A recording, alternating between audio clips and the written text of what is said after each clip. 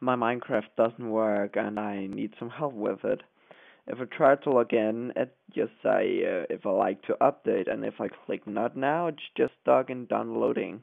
And if I click yes, it's just uh, stuck in downloading packages. I don't understand why. I've tried to delete my app data. Um, pretty much times I did, but there still happens nothing.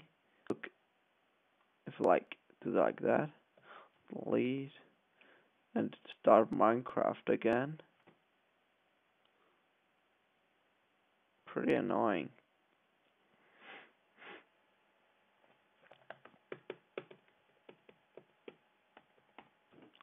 And I log in. I I deleted my uh, Minecraft thing. Still stuck. Can you help me? I tried to download the both of the uh, of these. Tried both, but it still won't work and I didn't leave my safe there. Up here. But I need I need your help, so please help me.